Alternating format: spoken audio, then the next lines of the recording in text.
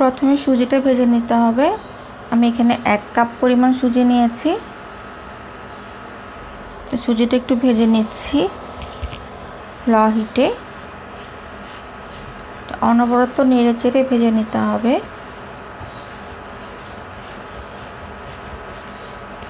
তো সময় নিয়ে আমি সুজিটা একটু ব্রাউন কালার করে ভেজে নিয়েছি।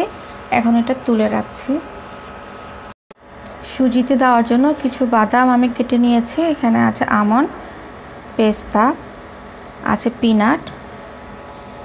একটু ভেজে নিব। দিচ্ছি আমি দু টেবিল চামচ পরিমাণ ঘি।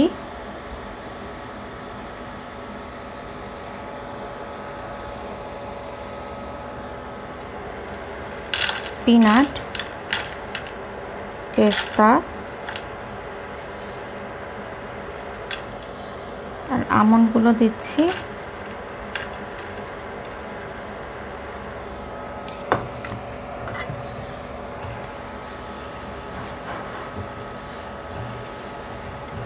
এক মিনিটের মতো এটা আমি একটু জাস্ট রোস্ট করে নেব।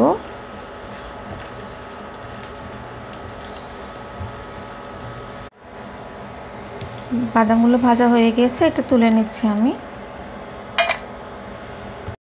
কিশমিশ ধুয়ে রেখেছিলাম, ওটা একটু ভেজে নিচ্ছি।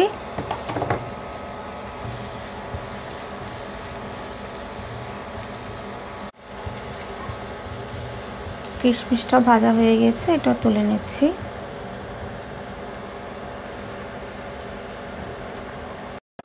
ওয়ান থার্ড কাপ পিওর ঘি দিলাম। এই সুজির হালুয়াটাতে কিন্তু এক কাপ সুজির সাথে এক কাপ ঘিটা ইউজ করতে হয়, তো আমি এতগুলো দিতে পারব না। আমি ওয়ান থার্ড কাপ দিয়েছি, আর আগে দিয়েছিলাম টু টেবিল চামচ ঘি। তো টোটাল আমার হাফ কাপ মতো হয়েছে। এখন যে সুজিটা আমি ভেজে রেখেছিলাম, ওটা ঘিতে আবারও ভেজে নিচ্ছি।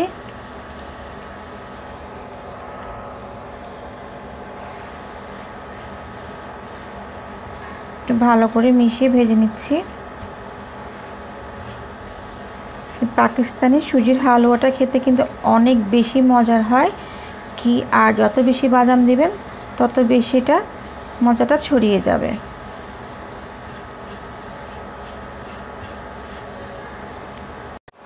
তো সুজিটা আমি আবার ঘিতে ভালো করে ভেজে নিয়েছি।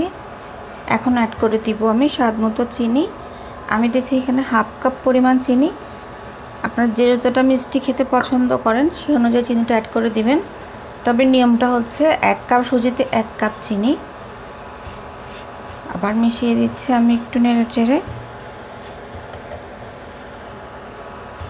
পানিটা অ্যাড করে দেবো। আমি যে কাপ দিয়ে মেপে সুজিটা নিয়েছি, সে কাপের তিন কাপ পরিমাণ পানি দিতে হবে।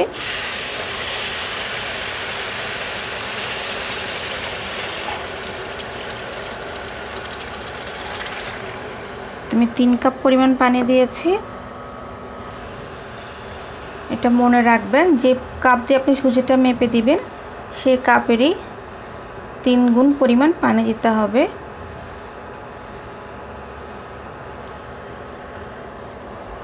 এখানে আছে এলাচ, দারচিনি, সামান্য লবণ।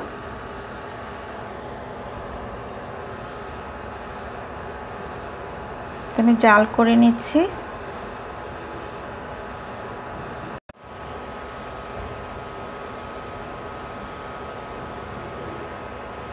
তো নাড়াটা বন্ধ করা যাবে না। এতে করে সুজিটা নিচে ধরে যাওয়ার সম্ভাবনা বেশি থাকে। তো আমি রান্না করে নিচ্ছি যতক্ষণ পর্যন্ত না। তো পানি শুকিয়ে ঘন হয়ে যাচ্ছে। তো ভেজে রাখা কিশমিশ, বাদামগুলো আমি অ্যাড করে দিয়েছি। আপনারা চাইলে দুধটা ইউজ করতে পারবেন। তবে দুধ দিলে হবে কি, সূর্যের যে সুন্দর একটা রং আছে, ওটা নষ্ট হয়ে যাবে। ওটার বাদামি থাকবে না।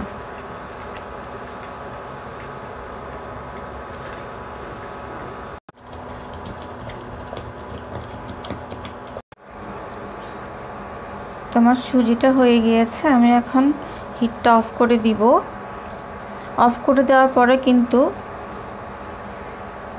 যে হিটটা থাকে, ওটাতে কিন্তু বাকিগুলো সামান্য পানি থাকলে শুকিয়ে যাবে।